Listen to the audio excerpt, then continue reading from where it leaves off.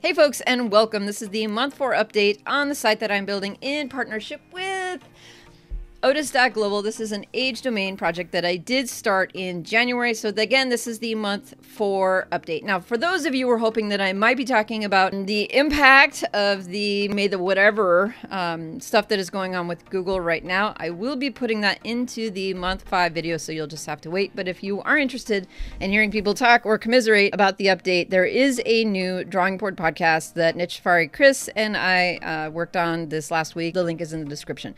All right. So month four. What you see on the screen right now is the spreadsheet, the Google Sheet spreadsheet that I use to just track the, the page views, sessions, earnings, and costs.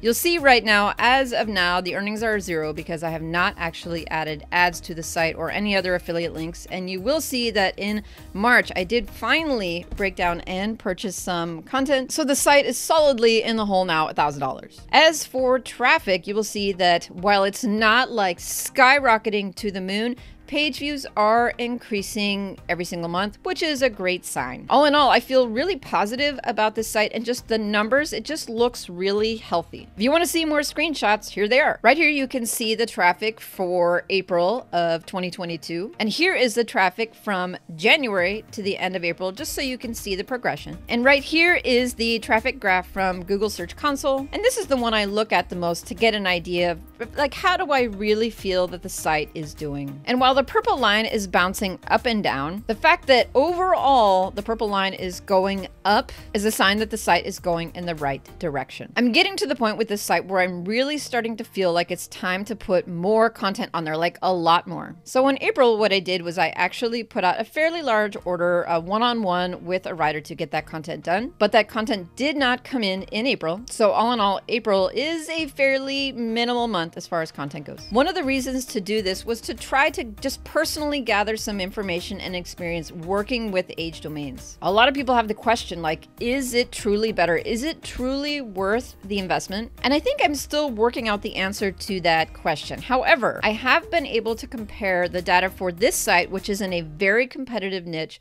along with my fight site, my my other case study, the one of the many case studies I'm running here on YouTube, that is also in a very competitive niche. And I look back at month four with this site and month four on the fight site, and it is very clear to me that this particular site, that this case study, my Odys.global case study, is in a better position than my very competitive niche site on a fresh domain was, at least at four months. So overall, I feel very positive about the use of this particular domain and how that is playing out as far as a competitive niche. And the primary areas that I noticed this are in indexing and ranking of the articles. While indexing was a pretty significant problem in month one, I'm not seeing indexing issues in month four. And I feel pretty confident that if I dump or put or upload a significant amount of content, the majority of it will index within a reasonable amount of time. Maybe not in a day, maybe not in an hour, but generally within a few weeks that it will all be up there. And with my other site, there was definitely no guarantee that that would happen. And a lot of the content sat on the site for months before it even popped in Superbot at all. So going forward for May, June, July, and beyond, the goal is just to get as much content up on the site as possible.